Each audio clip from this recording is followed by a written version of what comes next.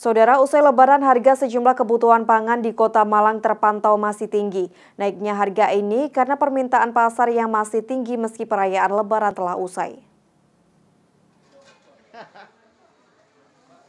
Kenaikan harga ini terjadi pada beberapa komoditi pangan di pasar besar kota Malang. Cabai rawit, cabai merah besar hingga bawang merah terpantau mengalami kenaikan harga yang cukup signifikan.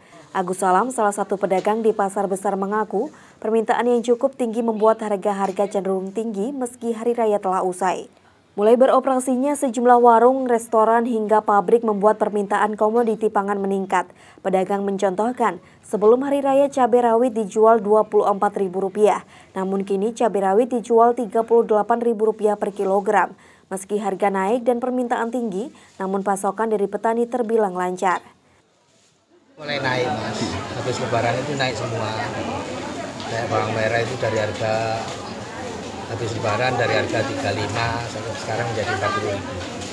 Kayak cabai besar dari harga 35, 38 sekarang menjadi 50 ribu. Cabai kecil ya naik juga. Dari harga 24, 26 sekarang menjadi 38 Menurut pedagang, jika melihat kondisi saat ini, bisa saja harga-harga kebutuhan pangan yang naik ini akan bertahan cukup lama. Tim Liputan Kompas TV Malang, Jawa Timur.